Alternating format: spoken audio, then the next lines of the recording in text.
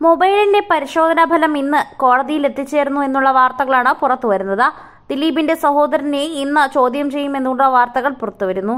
ദിലീപിന്റെ സഹോദരൻ അനൂപിന്റെ ഫോൺ പരിശോധന കഴിഞ്ഞതായി റിപ്പോർട്ടുകളുണ്ട്. ആ ഫോണിന്റെ പരിശോധനയുടെ അടിസ്ഥാനത്തിലായിരിക്കും ഇന്നുള്ള ചോദ്യം ചെയ്യലെന്ന് കൂടി വാർത്തകളിൽ വരുന്നുണ്ട്.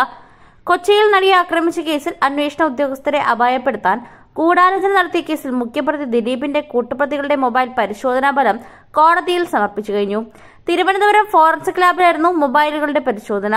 സൈബർ ഫോറൻസിക് ലാബിലെ പരിശോധന ഫലം അന്വേഷണ സംഘത്തിന് ലഭിച്ചിട്ടുണ്ട്. ഈ വിവരങ്ങളുടെ അടിസ്ഥാനത്തിൽ ദിലീപിന്റെ സഹോദരൻ അനൂപിനെ ഇന്ന് ക്രൈംബ്രാഞ്ച് ചോദ്യം ചെയ്യുന്നുണ്ട് എന്നുള്ള വാർത്തകൾ കൂടി പുറത്തുവരുന്നു. ആദ്യം അനൂപ് പിന്നെ സുരാജ്. പിന്നീടായിരിക്കും ദിലീപിന്റെ പേര് കൂടി വിളിച്ച് ഹൈക്കോടതി ചർച്ച നടത്തുന്നത്. മൊബൈലുകളുടെ പരിശോധന ഫലവും അനൂപിൽ നിന്നുള്ള മൊഴികളും വിലയിരുത്തിയ ശേഷമാകും ദിലീപിന്റെ സഹോദരി ഭർത്താവ് ടി എൻ സുരാജിന് ക്രൈംബ്രാഞ്ച് ചോദ്യം ചെയ്യാനായി വിളിപ്പിക്കുന്നതെന്നും സൂചന.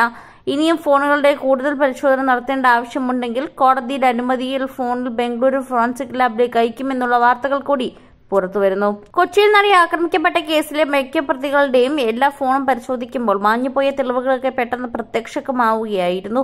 അതിലേറെ ഇവരെല്ലാം ഡിലീറ്റ് ചെയ്ത് കളഞ്ഞ ഫയലായിരുന്നു കൂടുതലും എടുക്കുന്നത്.